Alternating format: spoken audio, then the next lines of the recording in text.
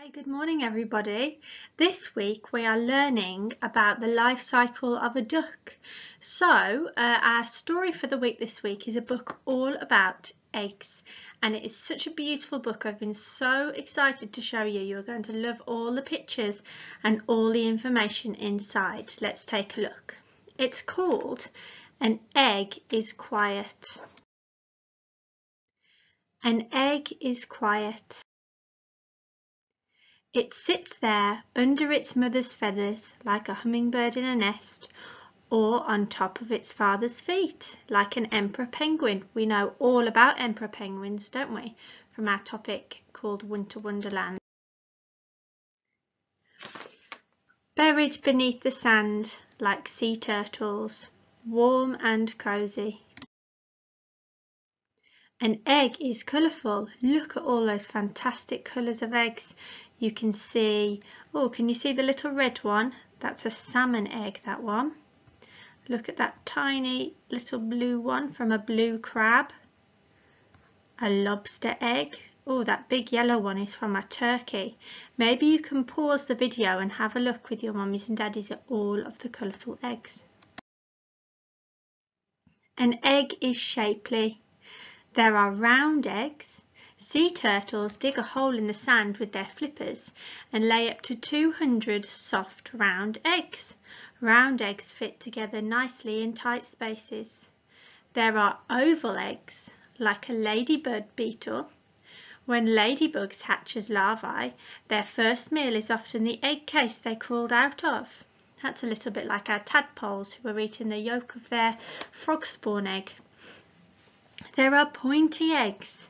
Seabird eggs are pointy at one end, so if they're laid on a rock, on rock ledges, they roll around in safe little circles and not off the edge of the cliff. And look at this one, that's really interesting, a tubular egg. Okay, while most sharks give birth to live young, some sharks, like the lesser spotted dogfish, Begin life in a leathery egg case with tendrils. The tendrils anchor the eggs to seaweed so they don't get swept away by the current. An egg is clever. The markings on some eggs help them blend in with their surroundings. This is called camouflage. Camouflage is an egg's way of hiding. Can you spot the eggs in this picture?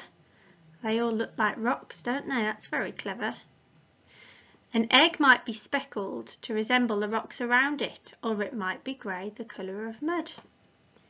An egg does not want to be eaten by any animals, for example a raccoon or a snake or a fox.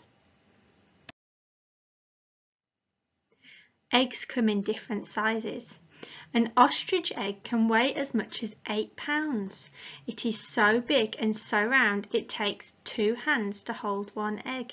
And guess what? I have actually got an ostrich egg to show you.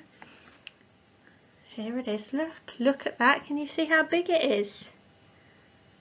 Wow, that hole in the bottom, look, is to show there's nothing actually in this egg. It's just an empty ostrich egg. And this came all the way from South Africa. Brilliant. Hummingbird eggs are the size of a jelly bean. It would take about 2,000 hummingbird eggs to equal the size of one ostrich egg. That means ostrich egg, which means they're so, so tiny.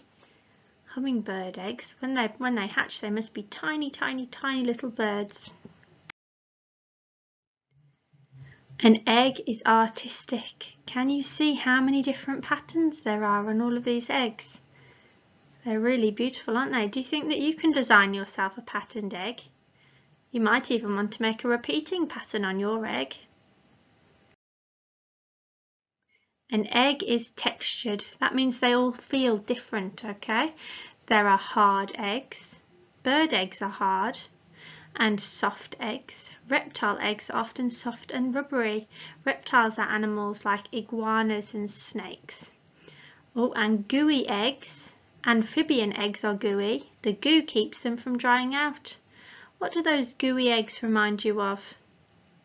They're like frog spawn, aren't they? That's where our tadpoles um, were before they hatched. There are smooth eggs. Most bird eggs are smooth. And rough eggs. An egg might even be fossilized. Oh, what does fossilized mean? The remains of creatures that died millions of years ago may become rock hard or fossilized. Scientists have unearthed fossilized dinosaur eggs all around the world. Would you like to see a dinosaur egg? Some are round and some are oblong. Some are as small as one inch across and some are as large as 20 inches. Wow, that's a big egg. Scientists believe all, all dinosaurs hatched from eggs.